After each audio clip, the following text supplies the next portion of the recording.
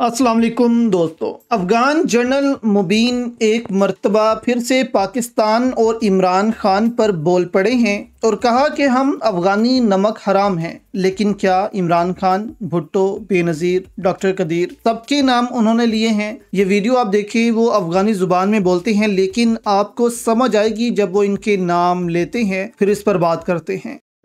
سید افغانان بھٹو، نمک حرام کو ذوالفقار علي بوټو چې پاکستان ته قانون د 1903 اویا قانون اساسي ورته جوړ کړ.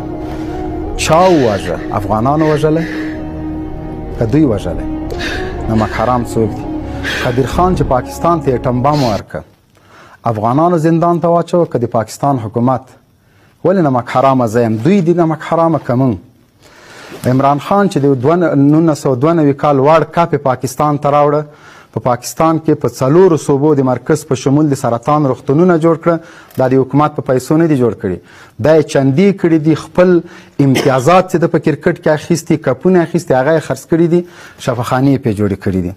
کله چې دای ولسمشر سو وزیر اعظم سو په پاکستان کې کورونا وا لغه حالت نه سالم پاکستان د عمران خان راويسته دا اوس افغانانو بندي کړی چې موږ نمک حرام یو یو سات په سار باندې ته وزیر اعظم بندي کوا بے نظیر۔ اب جنرل مبین نے کہا کہ چلو، ہمیں تو کہتے ہیں کہ یہ نمک حرام ہے۔ یعنی کہ پاکستان نے اتنا عرصہ ان کی خدمت کی، ان کو پناہ دی جنگ کے دوران، لیکن یہ پاکستان کے خلاف ہی اقدامات کرتے ہیں اور پاکستان کو ہی برا بھلا کہتے ہیں۔ اس پر جنرل مبین نے کہا کہ چلو، ہم نمک حرام ہیں، لیکن کیا بھٹو کو پھانسی ہم نے دی؟ یعنی بھٹو نے تو اس ملک کو آزاد خارجہ پالیسی دینے کی کوشش کی۔ وہ اس ملک کے ساتھ مخلص تھا، لیکن کیا اس کو ہم نے پھانسی دی؟ کیا بے نظیر کو ہم نے قتل کروایا؟ مطلب وہ ادارے پر الزام لگا رہے ہیں اور ان کے ساتھ مخاطب ہیں۔ انہوں نے کہا کہ کیا ڈاکٹر قدیر جس نے پاکستان کو ایٹم بم بنا کر دیا، کیا اس کو ہم نے نظر بند کیا تھا؟